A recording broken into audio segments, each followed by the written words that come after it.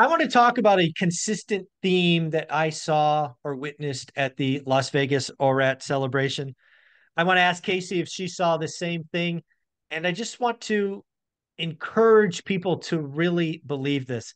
Let's welcome Casey Brick by Brick, one of the featured speakers at the ORAT event. How are you doing, Casey? I'm doing great. I'm recovering from the Vegas trip. My, my cold is going away. I had the best time. Um, I met so many amazing people. So thank you so much for giving me the, the opportunity to come out.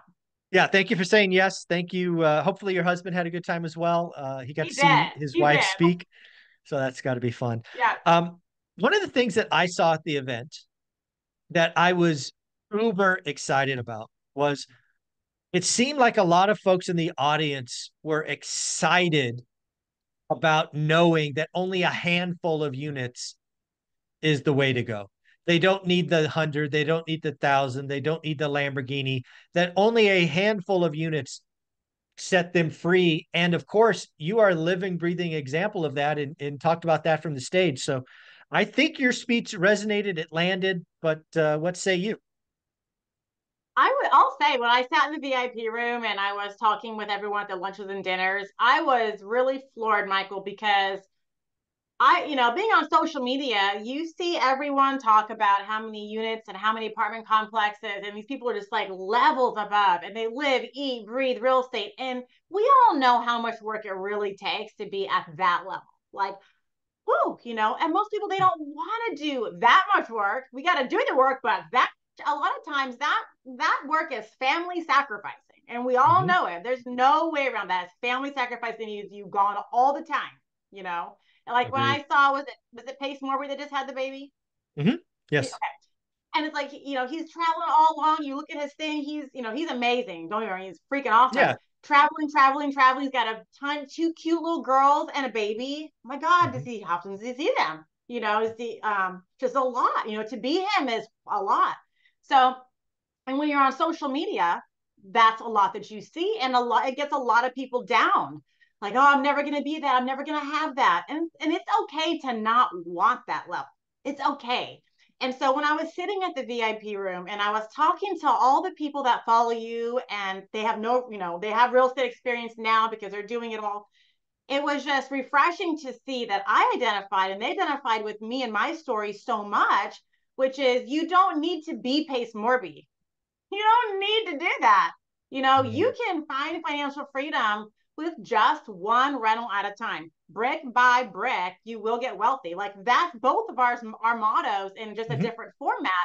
And you know, one property can change your life. They just repeat the process, buy one every year, you know. And then the more properties you have, the more cash flow that you have coming in, the easier it is to save for another down payment. And especially if you have two incomes. I mean, geez, and I only had one income. Like I wasn't working. Imagine we were talking about this last night. God, Casey, imagine if you were working and you you had two incomes coming. I'm like, I know it's all my fault, you know. But I, I, wanted to stay home with my kids, and that you know, so we didn't start off at the path other people. You know, I could have been. We could have been a different place, but it's just amazing because you only need a handful. Just start with a few. Just you know, we have eight long term rentals right now and we bring in, you know, full one full-time salary. Like, gosh, I got my salary. I did it and I don't have to mm-hmm. work hourly for it. I'm not Pace Morby. I mean, I'm not mm-hmm. Michael Zuber, but you know, maybe one day, you know, right. but it's okay to not want to even be at that level. It's okay to just want enough, enough to replace your income, enough to retire your spouse, enough to not feel the, the societal pressure of, of having to work for the man so that you can live your life. It's it's okay to want financial freedom and have it be just enough. No, I, I couldn't agree more. I I want to keep doing everything I can for the next decades, keep hammering that point. Right? If you can just get to four, it'll change your financial future. If you continue to eight, nine, ten, it could be that financial freedom. I mean, Dion has proven that even in the high high price state of Seattle, if you keep your your expenses in line you could retire on you know 13 14 15 16 units and that is certainly possible for the average person if you do it for a decade it's it's get rich slow but get rich for certain and i was really happy that the audience that not only that that landed but frankly, they're executing it. I didn't run into anybody at the event that is pushing a syndication or any of these things that I would have been very disappointed at. I, if you come to my event and you're trying to push big thousand unit syndication because you're trying to grift off my audience, I would have been disappointed and probably kicked you out and refunded your money. I didn't see that happen. And people were just talking about, you know, a single family home, a duplex, maybe a 10 unit, uh, depending on where they are in their unit, I, in, in their journey. I was, um, the audience blew me away. And, and they were engaged both days. You know what it's like. Two days in Vegas. Day one's freaking a killer at like 14 hours, right? It went from eight to eight to I guess 12 hours, eight to eight. Um, and then to come back Sunday morning at 8 a.m. and be ready, that's hard to do in Vegas. That's hard to do in any city, but it's really hard to do in Vegas. Me and my husband were like, look at the schedule. Like, we know Michael Zuber planned this event because he did 8 a.m. on day two. yeah, Michael's a morning person, folks. So. we know Zuber put the schedule together. There's an 8 a.m. Uh-huh. start day two. Yeah, deal.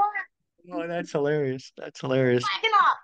Yeah, I, I love this. I, I, I, this really goes back to, and I didn't know where this conversation goes, but it would actually go back to day two, talk one, Coach Carson, mm, right? Co- yeah. Coach Carson, small and mighty investor, right? The most meaningful moment for me as an attendee, and again, I watched every presentation. The most meaningful moment for me as an attendee was Coach Carson on stage with that PowerPoint that looked like a, a graph and there was this little green asterisk at the top that said enough. And it was like he gave me permission to sit down. Not that I needed permission, but it was nice to have because that's where Olivia and I have been for five years. We got to our point, which is more than enough, and we've sat down. I reserve the right to stand up, but I love the fact that enough is okay. Enough is okay. So that was that was a pretty cool moment for me personally. I love it. I know. And I would have never thought that, you know, going to a real estate event, you have all these people that just, you know, and there were them there. This like, I want all this, all this. But everyone I talked to, and a lot of the same guys I talked to multiple days because we just got to know each other. And, you know, like one guy, Josh, he, you know, um, has a motor home and he's just buying houses cash now because he had a great job and he's going to use it to travel the country and he homeschools his kids and you know, there are just so many people like him. And it's like, you know, and he wasn't scared to say, I bought my house as buying my house as cash. Like, you know, if you said that online, how much crap you'd get from the exactly. gurus. Oh, buy your house oh. as cash. How dare you? You should leverage to the guilds and cash out refinance and put that down. It's like, you know, at your event, it was like a safe place. It was, yeah. hey, this is my strategy. This is what works for me. It's like, what do you think, friend? You know, isn't this great? And it was really just a huge friend thing. And I've not been to other events, and maybe they're like that. But I really doubt. No, they're it. not like that. No, they're not like that. I, I I didn't I got the feeling like this is special, you know. And if I were to go to some other big event, it's gonna be so much chest pounding and I'm mm. this and I'm that and uh, my way is the best way and do what I do and buy my this and buy my that. And that's what I envision other events, you know, being oh, like. Oh yeah. But, oh look at me, I'm bigger. Yeah, they yeah, it's it's uh yeah. not something that I would allow to happen at one of mine. I do have yeah. a question though. Uh so hopefully now folks have seen on social media that I gave every speaker a gift after their talk to thank them for coming. And I think it's fair to say that the gift leans male, right? It was a championship. Oh, I like yeah, I was going to ask, right? It was a championship belt leans male, but I thought it would be really cool. Uh, and I didn't, I, I think it was really cool to give to everyone. What do you think, Casey? It was cool. Luckily, I had met the weight limit for my suitcase. like, yeah, it was heavy. But we had a few pounds, so it worked. Um, but the kids have been wearing stairs in the living room. The kids have been walking around wearing it house. But I will put it up in my office. It's my first day really back. I'm here. um, but yes, no, I liked it. I didn't know we were gonna get like a present, so that was really cool. Um. You know, I don't need a crown or whatever. I I got tons of crowns. I like the manly, you know. I want to be part of the men's club. There you go. And again, it was, I mean, it's a legit championship belt. It does have the snap so you can put it on. It's got your picture. Um, yeah, it's very personalized. So um yeah, I'm glad you like it. It's high quality. I mean, I'm gonna keep I gotta I'll should put it up in my shelf. I gotta make a space for it. I'll do that. There you go. Yeah, no, I um it's always a risk, right? Is it gonna land? Is it gonna hit? But uh yeah, I, I'm glad you liked it. So so that was that was really Thank, cool. Thank you. Oh, absolutely. Um, you know, the other thing when I think about the event was the networking, right? You already talked about it when you were sitting at the VIP section and, and, and talking with different folks. I really was encouraged um, by how many, because one of the things that I did, like I did 15,000 steps because I was continually walking a loop, making sure everybody was good. Um, but everybody, it, nope, there weren't like little clicks forming, right? People were networking and really sharing and, and helping. Uh, so the audience, you know, they really, they really got uncomfortable because for some people, networking is, I don't know, it's, it's uncomfortable. Uh, but I was yeah. pleased with that. Yeah, it, um, I thought it went really well. Honestly, everybody was talking to everybody. I talked to so many people. I will say, like, I wish I could have. I, I one thing I do wish was a little different was that there was time for the speakers like to get together and get to know each other a little bit more. Mm. I feel like hmm. everybody was so spread out. Like I didn't really get to meet and talk to or get to know, you know, any of the other speakers very well. I talked to Coach Carson a couple times, and then I know Dion was doing his thing in the back room. But otherwise, and then Adrian reached out to me on Instagram and we chatted a little bit afterwards. But I think that maybe like that would have been something I would have I would do differently. Would be maybe like get the awesome. speakers together, get to know each other. But um, it, I don't know. It was great. Everybody walked. Right, I talked to so many people you know yeah. and oh my god and then afterwards um so i did my speech on day two and so then out you know, there was two more after me and then after when i went outside everyone was leaving I, I had to, I must have stood out there for an hour to take pictures. All of a sudden, now everyone's like, I can't like because I saw my speech and you know, so then and then they remember me from Instagram and all that, and so we're like, I don't remember your name, but I know you're Brick by Brick Wealth because that's what it says on all my stuff. So people just know me as Brick by Brick Wealth. They see yellow, they don't really think Casey Franchini, you know. Um, but I took tons of pictures and it's good. Like, everybody wants to take a picture with me. So, isn't that cool. fun? Isn't that fun? Yeah. Taking pictures. Yeah. Like, well, I'll stick around longer if anyone wants yeah. more photos. But no, let's I, go. I got, I got tons of pictures. Yeah, and uh, gave tons of tons more advice outside in the front. Yeah, that's awesome. So I don't know if you know this, but one of the things I'm doing is I have a a, a worksheet with all things to tweak and improve. I will add. Uh, I'll add. I'll probably say something like speakers dinner or something. Uh, yeah, maybe so like the night before or something. Yeah, and then I'd probably say too, if I had one more thing, maybe like name tags, I think would be good. Got so it. Like name tags, yeah. Um, speaker name tags, and then maybe regular, even just write sticky write on name tags would yep. probably help. Okay, um, I will um, get both of those on the list. But that was great, and every I will say, Michael, I'm sure you heard it. Everybody wants to know when's the next one. And then I was talking, I talked to Olivia a lot. I don't know if she, you know, told you, yep. but her, Blake and I talked to her a lot, and um, she was like, I don't know if we're gonna do this like every year, every other year, or we're like, how often? And I did. You should tell. I tried to get on the podcast room. I was like, Olivia. she told me. She told me. Yeah, I'll interview you. And I'll, and uh, she don't want to. I was like, it's okay. Yeah, if I, I can't like, get her on. You. One day. One day. One day someday. Someday. Yeah. I'm like that yeah. video would get the most views on your whole channel. Probably, yeah. Interviewing Olivia, that would be That'd be a neat trick. Michael Zuber. yeah. Well, oh God. Yeah. You don't want you don't want that. I don't, I don't want that on the internet. So that, there you go. But yeah, I I Olivia and I talked right. So it took a lot of work to put this together. Uh, oh, probably more sure. work than most people know. And Olivia and I kind of Friday morning getting ready. Um, she and I talked and she asked, she asked, like, are we going to do this again? Or she said, Are you going to do this again? And I was like, I don't know. I mean, we'll see how this goes. Um, first time, uh, trying some new stuff, right? The whole Q and A from the audience thing, and um, I was 50-50. I had no idea. And then Saturday night, so after day one, we don't get home till like nine o'clock. Yeah. And um, normally sleep comes easy to me. I'm out by 10:05, like 10:15 late, worst case. I was up past 1 and uh, it was all because I was just vibrating because it was working. And it was it, it wasn't until I told myself that I guess we have to do this again next year that I fell asleep. So uh, I'm committed to doing it one more time. I'm only going to do this year by year because who knows when I'll get tired of it or if I will. But we're going to do it next President's Day weekend. I've already I've already booked the room. I already signed the contract. I already put down the deposit. I already booked the videographer again. I'm I'm already spending money on next year. So uh, we're doing it again next year. Those uh video the podcast room guys, Heartland or Heart they're who Heartfelt. Freaking yeah, they they were worth every penny. Heartfelt production. If you're doing an event in Vegas and don't use Heartfelt Productions, Brandon and his team, you're a fool. Uh, and also, uh, if you if you have an event in Vegas less than 400 people and you don't use the blind center, you are wasting money. Yeah. They are that good. They are that good.